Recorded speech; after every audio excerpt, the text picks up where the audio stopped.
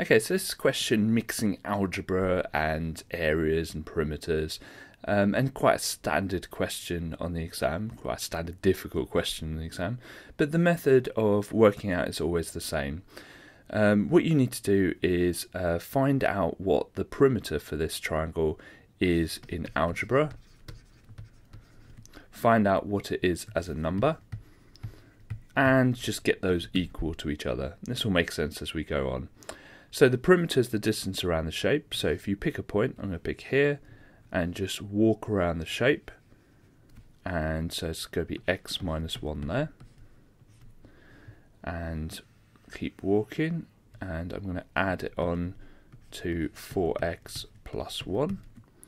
And keep walking. I'm going to add a 4x. And perimeter is just all the sides added. Now, as a number, it says that it is 144.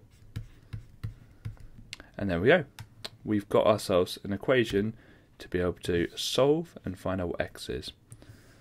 I probably need longer lines than that. So, we're going to collect the like terms on the left-hand side.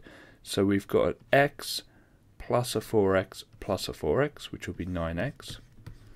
Then we've got a minus 1 plus 1, that's nothing. Ah, there's nothing left. So it's just 9x equals 144. Okay, now to get rid of the 9, we need to divide by 9 because that's a times 9 on the x. So we're going to do 144 divided by 9, which is 16. So x equals 16. Okay, so we find out what x is, which is a good start, but it doesn't answer the question yet because we need to use that information to find out what the area of the triangle is. Well, this bottom one here says 4x, so we're going to do 4 times 16, which is 64. So we know the length of that is 64. This one here uh, says x minus 1, so we're going to do 16 minus 1, which is 15. Now to work out the area,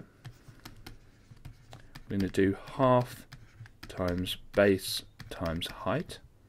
We've worked out that the base is 64, and the height is 15. So we're going to do 0.5 times 64 times 15 and it gives me the answer of 480 which is my answer. Now it says it's in centimeters, uh, it says the perimeter is in centimeters and it says work out what value of A is. Now the value of A is the number before the units so I don't have to put units on this but you don't lose a mark if you put units on it as well, which would be centimetres squared.